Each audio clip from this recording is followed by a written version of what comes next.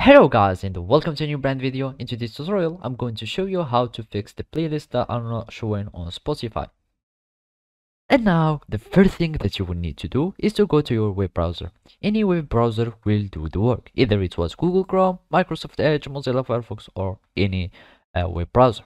Then you will need just to search for Spotify and then we will need just to go to the Spotify web page or you can just do that by clicking on sign up free so we can create an account and then it will uh, just take you to uh, this window.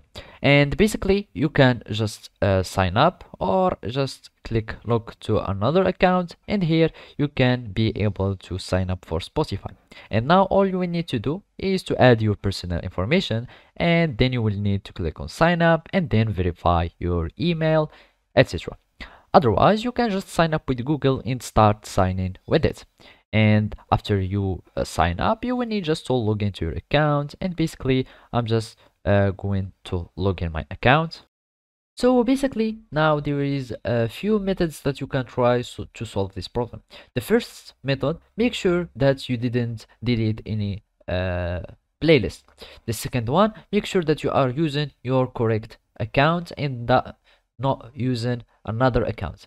So basically uh, if you have just deleted any playlist you can restore it by clicking on your profile picture and then go to account and then you will find a reset uh, your playlist. So basically recover playlist and here you will find your deleted playlist here and you can recover them.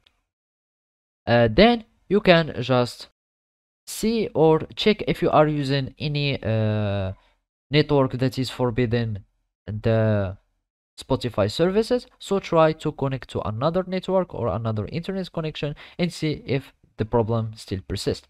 And basically, if the problem still persists, there is an alternative solution is to create a new account and then you will need uh, to try recovering all your playlists by uh, transfer them by contacting the Spotify support on their official website. So basically this is how you can do it. Thank you for watching and see you next time.